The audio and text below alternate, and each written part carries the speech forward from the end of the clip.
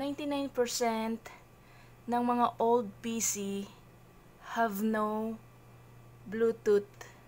So, as we all know, kung hindi ako nagkakamali ha, correct me if I'm wrong.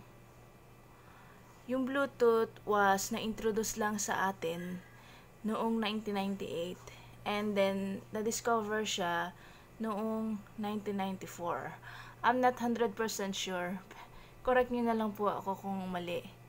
Pero, uh, sa kagaya ng uh, PC na ginagamit ko, which is this one, I think it's um, almost 10 years old na. And, um, wala siyang built-in na uh, Bluetooth.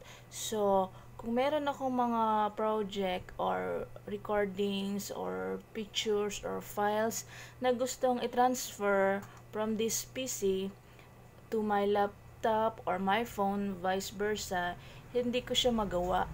Ginagamitan ko pa siya ng Gmail or ilalagay ko siya sa Messenger and then saka ko siya isi-send. Saka ko pa lang siya may i-download dito sa aking PC. So, um, itong ipapakita ko sa inyo is um, this is what we call uh, Bluetooth USB dongle. Nabili ko to no, no, no, hindi ko to nabili. Uh, isa to sa mga stock namin sa shop which is around 250 pesos ang selling price namin. So, uh, plug and play lang siya unlike dun sa mga wifi dongle yung para sa internet na meron siyang CD na maliit para i-install mo yung driver before mo siya magamit. This is plug and play. Wala nang i-download wala nang i-install. Uh, pagka, ins pagka insert mo sa USB port diretso na siya pwedeng gamitin. Pero before that kailangan mo muna siyang i-pair. Let's say sa laptop or sa phone kung saan mo siya um, uh, mag, kung saan ka magsisend ng files or whatever. So, this is compatible with Windows 7 and Windows Vista. This is kind of old na. Kasi, uh, meron ng Windows 8, Windows 8.1, and Windows 10. So, hindi to uh, compatible sa mga bagong Windows. Pero, pwede siya sa BT Mobile, pwede sa headset, laptop, and ano to, PDA. What's PDA? Para siyang uh, phone phone device pala to sorry. So yun so papakita ko sa inyo kung paano siya gamitin. So buksan natin.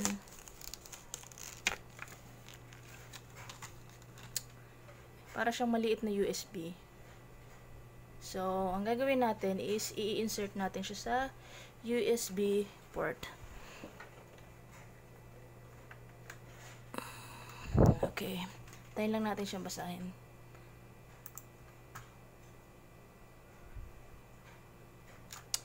So, okay, ito. Binabasa na siya dito sa um, icon na maliit. So, ito. Uh, before nyo siya magamit, so, kung bagong install, uh, click nyo yung show Bluetooth devices. And then, so, ito na yung na-pair ko kanina. Then, balik ulit tayo. Pindutin ulit natin. And then, add device.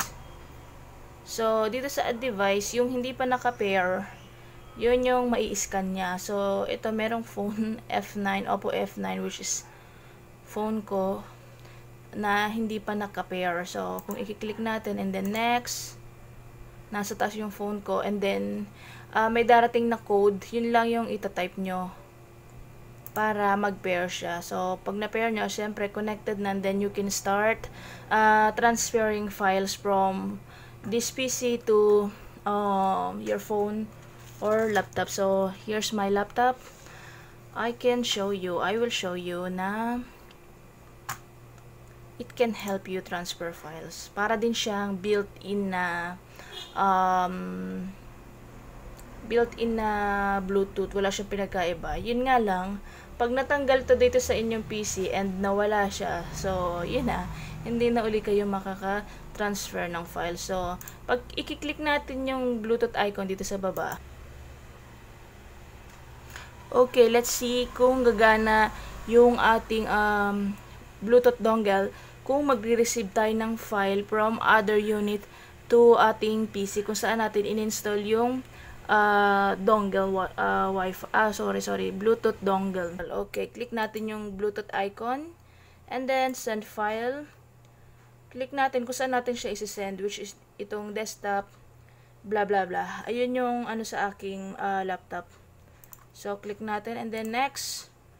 So browse tayo ng files na isi-send. Let's say this picture and then open. So before natin i-click yung next uh, punta tayo sa laptop kung saan natin siya i-receive. Click natin yung Bluetooth. And then, click natin yung receive file. And then, click natin yung next dito sa ating um, PC. So, medyo tricky siya. Pag medyo delay ka, uh, minsan nag error and minsan hindi nagsisend na hindi nag-notify uh, kung na-send or hindi. Parang mag-aantay ka sa wala, ganun. So, uh, kailangan nakaantabay ka pareho sa uh, ah, PC mo kung saan magagaling yung file and sa laptop kung saan mo siya isi-send. So, okay, file successfully transferred, finish. So, punta tayo dito sa laptop. So, ito yung file na na-receive natin. So, nasa desktop siya masisend. Click natin, browse. And then,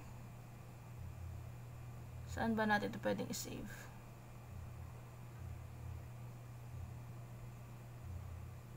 Let's say sa apps and software.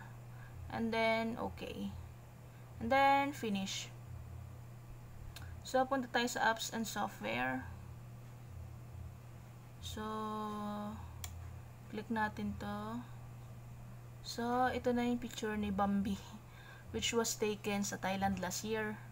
So, X na natin. So, yun, nakita nyo na it's working. Pero, guys, hindi ako mag-sugarcoat sa inyo. Ang downsides nito is, uh, sometimes, nagpara siya naglulus, although naka-plug in naman siya, pero hindi kayo makapag-transfer ng files, hindi rin kayo makareceive. So, ang gagawin nyo is, huhugutin nyo lang siya, and then ibabalik nyo, and then it's working again. So, parang i-refresh mo lang ba siya, ganun. So, yun yung downsides niya. Pero, uh, syempre, kung wala kang built-in na Bluetooth sa um, PC mo, it's better than nothing, ba? So, okay, X na natin. So, ayun, napakita ko sa inyo na um, it's working and useful. So, I hope meron kayong natutunan sa tutorial ko na to. And sa mga bago pa lang po na uh, nanonood sa aking YouTube channel, please do not forget to subscribe and click nyo yung notification bell para ma-inform kayo ng aking mga future uploads. And thanks for watching!